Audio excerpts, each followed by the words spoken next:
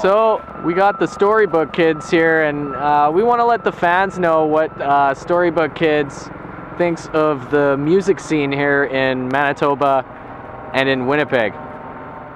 Back when I was playing, the scene was was really good. You know, there was the, the fans were good. There was always people coming out.